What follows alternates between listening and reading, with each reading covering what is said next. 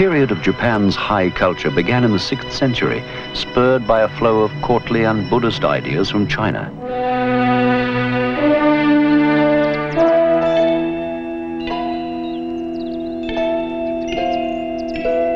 Before that, Japanese culture was comparatively simple. Agriculture and metals had been introduced from the old world civilizations in the 3rd and 2nd centuries BC. Originally, Japanese religious practices were animist, revering natural phenomena, ancestors, and tribal chieftains. This later became known as Shinto to distinguish it from Buddhism.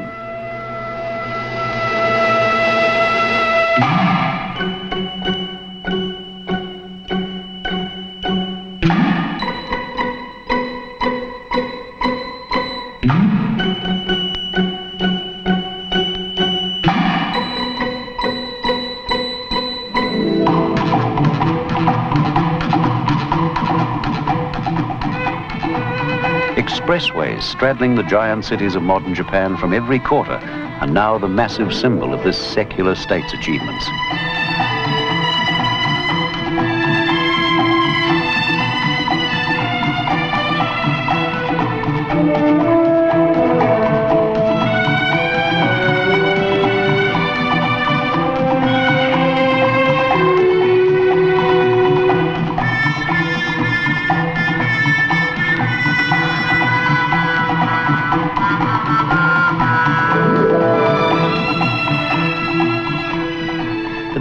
Crafted wooden houses of the old capital, Kyoto, have so far been preserved. American bombing in World War II destroyed every big city in Japan except Kyoto, which was spared because of its heritage of old buildings and temples. But Japan's post-war economic expansion is tearing down much of what had remained of old Kyoto.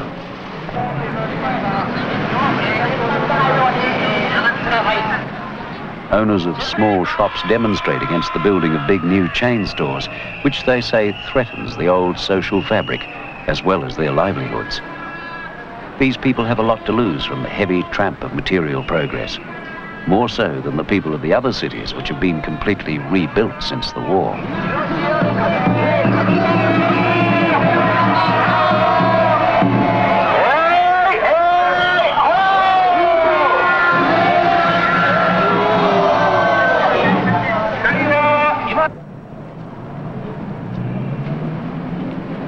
Shinjuku is the latest of many large business districts scattered through Tokyo. Construction of these buildings required new earthquake-proof technology developed here. High above Tokyo, in the offices of Japan's largest construction company, Taisei Corporation, a team of design engineers is working on their latest project. Mr. Kimura is the team leader. Taisei's motto is, build today for a better tomorrow. The company was founded in 1873, when Japan was modernizing after 200 years of almost total isolation. After 1946, the company helped to rebuild the shattered nation. Taisei now has branch offices in several overseas countries, building everything from hotels to undersea tunnels. The Kimura family, watching home movies. The enviable, ideal picture of middle-class family life. Kimura is quite well off. He's proud of his two children and charming wife.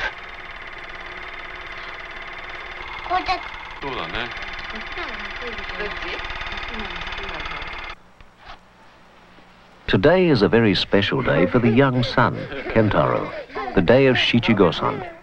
It's a Shinto ceremony for boys of five and girls of three and seven. For the occasion, Kentaro's grandparents have bought him his first kimono, which is worth a great deal. Always appear at your best, because wherever you go, you represent your family.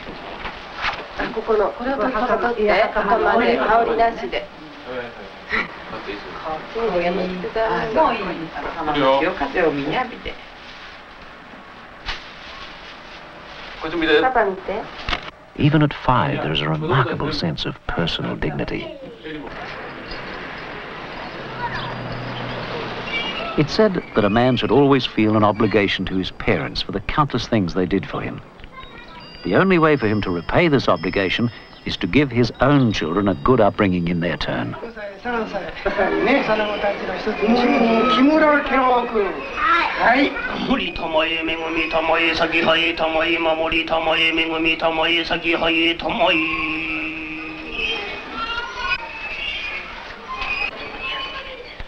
The Japanese people's concern with family obligations means that their society is deeply conservative. No special day is complete without a gift. The ritual appeals to people's sense of occasion rather than demanding their belief in some dogma.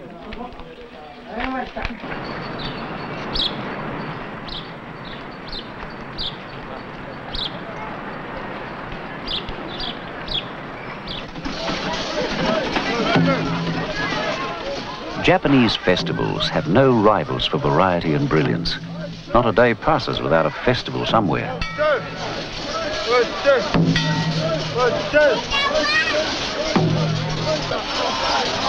Most are Shinto rather than Buddhist. At the center is the Mikoshi, a portable shrine into which the local god is said to return to Earth each year.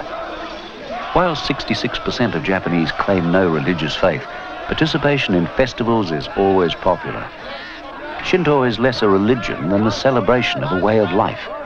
It's not much affected by modern skepticism. The Japanese understand that even the oldest tradition was once new, and all must adapt to innovations.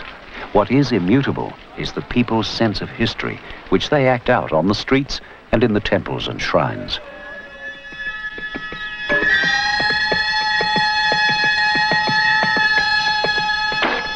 Samurai traditions are followed keenly, not simply as a sport, but because the rigorous training and discipline which these martial arts demand provide a path to spiritual enlightenment.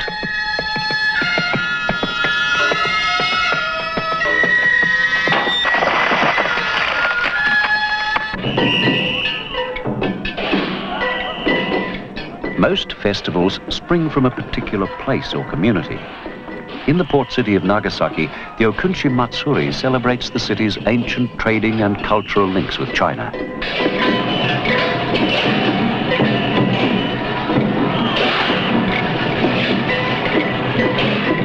The seven Chinese gods of good fortune are shown arriving in Japan by ship.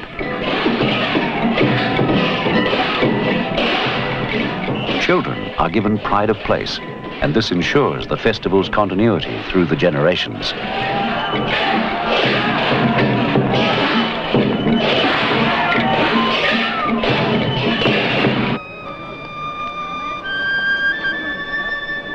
The great Buddha of Nara was cast in bronze in 749 AD. The statue weighs 450 tons. To house it, the colossal temple of Todaiji was built, the largest wooden structure in the world. Nothing shows the people's sense of history so well as the replacement of Todaiji's roof tiles. This has been done regularly every 250 years.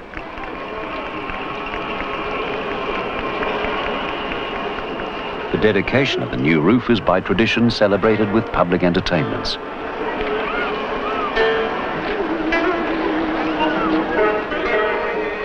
Buddhism is a very tolerant religion. If kabuki and traditional dances will please the Buddha, so will the SKD chorus line.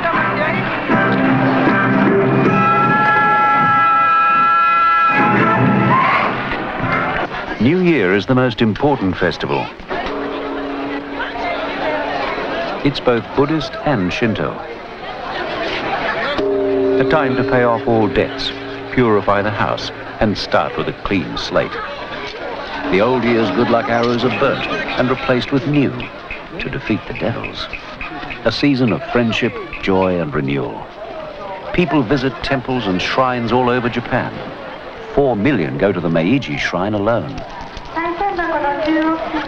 This year, your lucky arrow will hit the mark.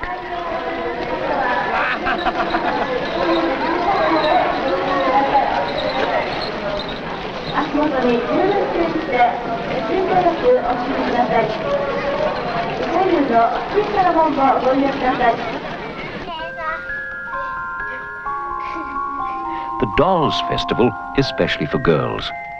On the 3rd of March every year, Mrs. Kimura helps Yasuko put the dolls on display for visiting friends and relatives, with offerings of rice cakes and flowers.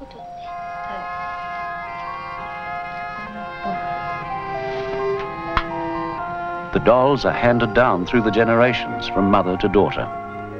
At the top are the emperor and empress, and so on down through the court hierarchy.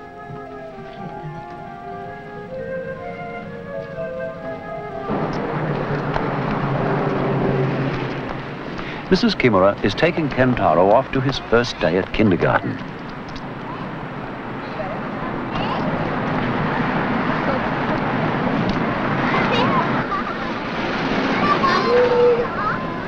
Kimuras are fortunate. They live in a good suburb, and the kindergarten nearby is a good one. It could well be his passport to a good education, and from there a successful career.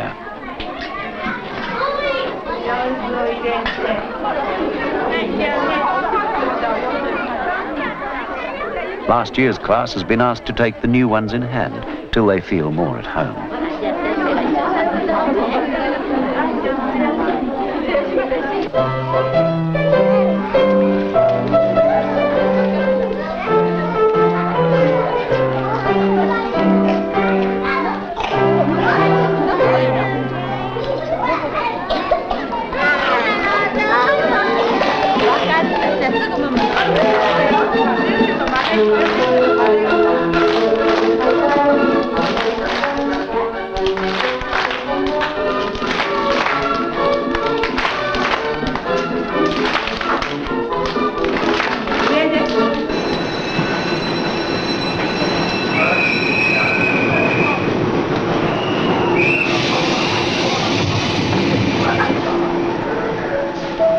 Kimura lives in Yokohama, the major port city adjoining Tokyo.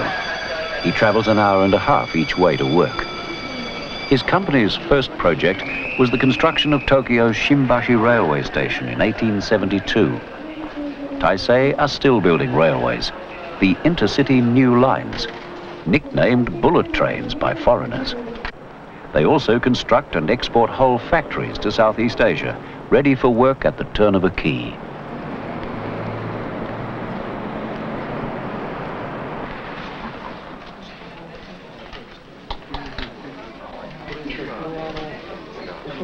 The ranking system in Japan is inescapable because the Japanese language supports it.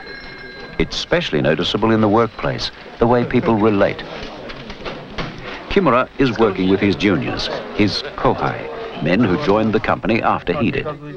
To them, he'll always be senior, their senpai. The language of a computer may be impersonal, but a kohai, junior, must always use respectful language to his senpai, senior, while in reply, the senpai uses brusque, commanding phrases. Now, it's Kimura's turn to play the kohai role to his senpai, the manager. So now it's Kimura who uses respect language, while his senpai in reply is brusque to him. The two speech forms are completely different and can never be relaxed, either at work or socially.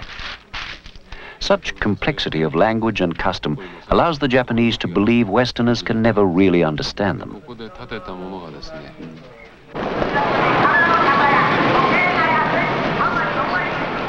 After hours, groups of salarymen patronize the thousands of bars and beer halls of Shinjuku and other centers. There's no clear line between being on and off duty.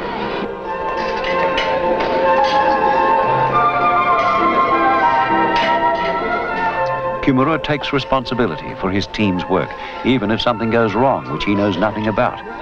So he needs to get to know his colleagues intimately, sharing their leisure hours together. He jokes that he tells his wife he's waiting for a less crowded train, when really it's more that he enjoys a few drinks with his workmates. The Taisei company has a tennis court for its employees. The senpai kohai rule still holds good.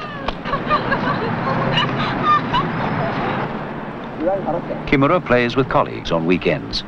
His wife plays with her own friends during the week.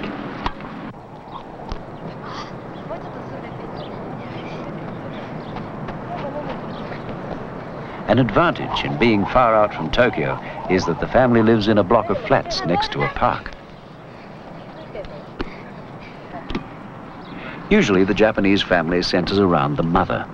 Fathers take a much less important role. They're so often away from home.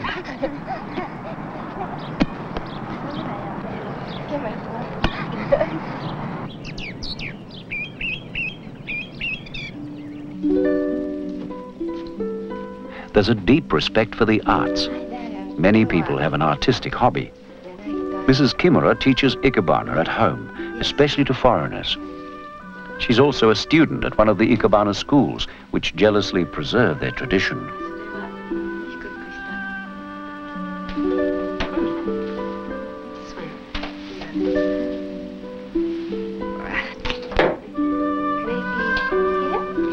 I don't think so, Diane. I think this should be here. Oh. Oh, it is. It is nice, but if you cut here and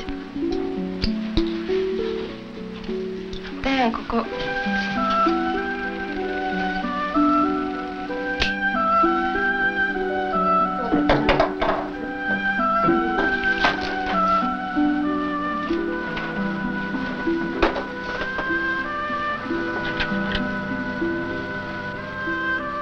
Kimura edits a magazine for the local pottery club, and he recently shared an exhibition of his work. This is what he'll do when he retires. Combining pottery with his engineering, he's carefully arranged his equipment in a cupboard.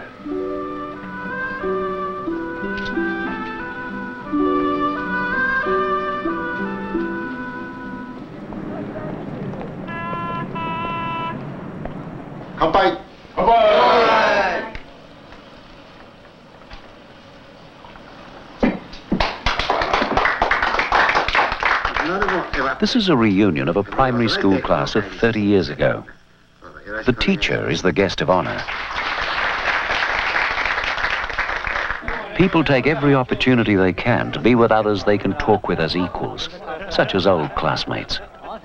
They don't require respect language, though the teacher does. Women use a more polite form of language than men.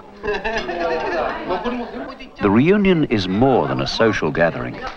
Classmates are part of the network of connections one uses to ask favors and get things done.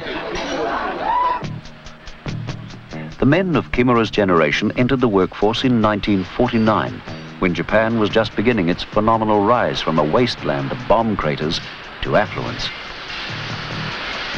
They've spread out through the myriad of business which together have made this small corner of the world a colossal commercial empire. Japan has two and a third times as many science graduates as the United Kingdom and West Germany put together, which have a slightly larger combined population than Japan. Taisei build automated warehouses designed by Kimura. The new building and the stacking machinery are checked before being handed over to the owner.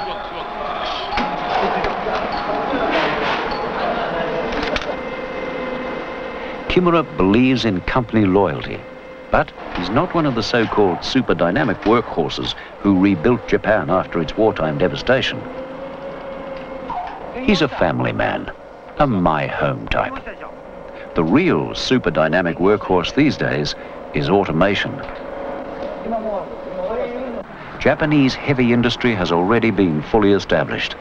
Now a new industrial revolution has switched the power to computers and robots. Fujitsu Fanuc makes robot machine tools for factories. Well, more precisely, their robots make more robots, and they do it 24 hours a day.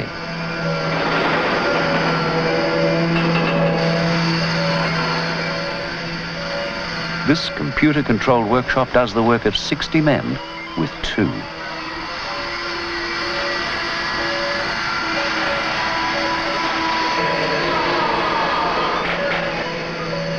70% of all the world's robots are at work in Japan. They'll be the next export boom.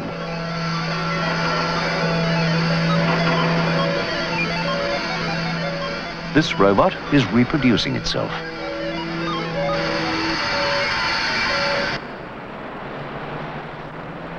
Production of the prestigious newspaper Asahi Shimbun has been transformed.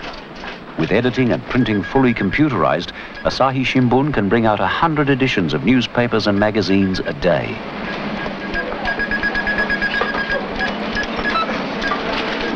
It seems contradictory that such an overpopulated country should lead the world in automation. Yet the Japanese welcome it.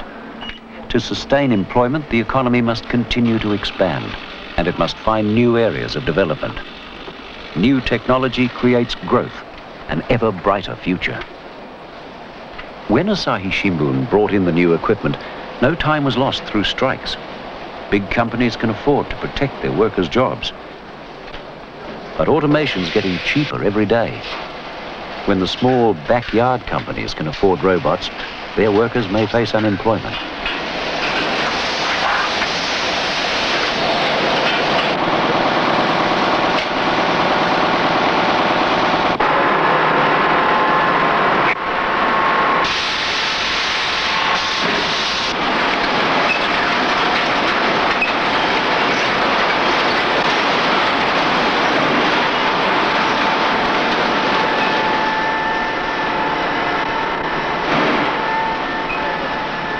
Casualties already. Some people have lost their special skills, like typesetters who are now working at dispatch. Despite the strains and fractures resulting from Japan's leap into the future, there's a reverence for the long-established order of things, an acceptance of authority which today's leaders can count on.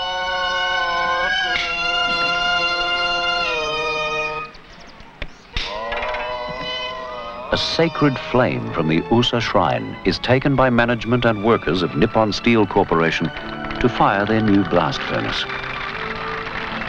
It's carried through the company housing estate to the Oita steel mill.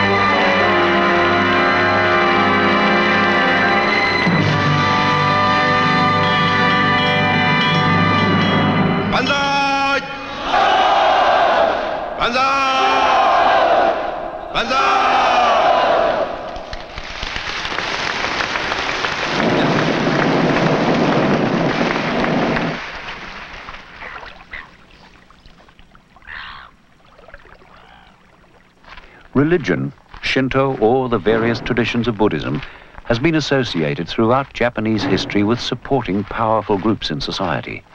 And this is certainly so today.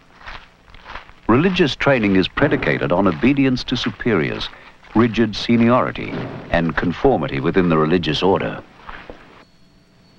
A Zen Buddhist monk sits in meditation, seeking enlightenment by breaking through self-will. Zen was introduced in the 12th century However otherworldly it once was, it soon became a spiritual prop to feudalism and the emperor system. Monks were taught to be spiritually at one with the emperor. It was said, the first duty of religion is to seek to preserve the existence of the state.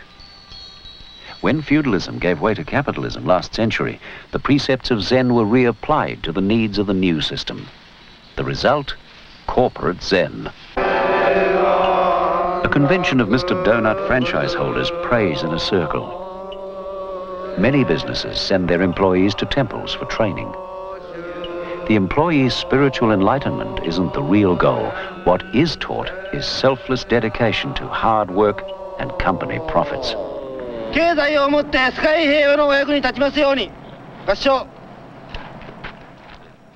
The corporate machine rides on the path to enlightenment.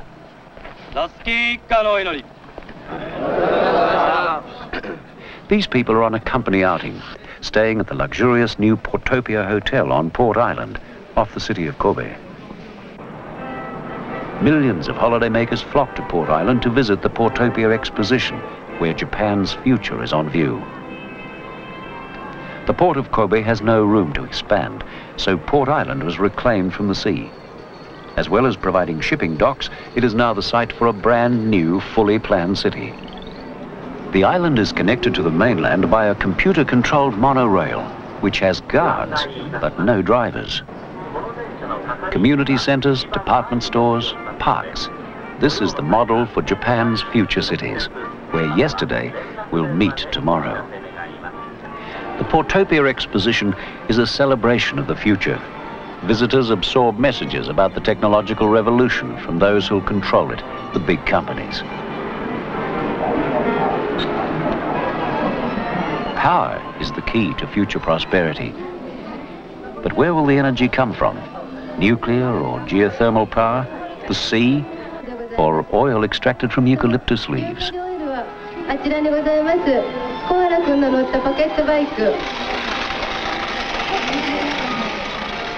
Portopia's most interesting exhibit is Japan's greatest natural resource, the Japanese people.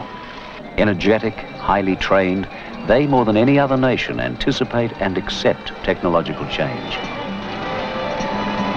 They believe it'll look after them. They face the future without fear, as actors in a great drama.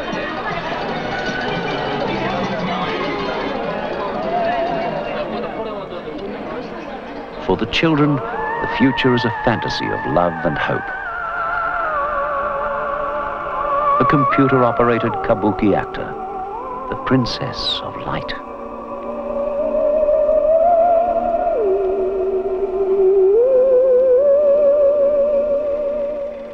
Kentaro, as a young man of the 21st century, may well live in a post-industrial society, but his parents' traditions will probably have endured.